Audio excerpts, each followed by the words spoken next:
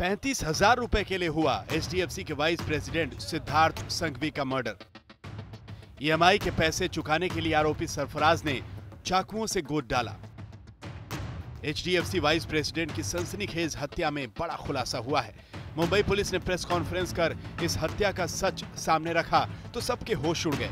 Mumbai police के अधिकारी ने कहा कि सिद्धार्थ संघवी का कत्ल लूट की वजह से हुआ। सुनिए।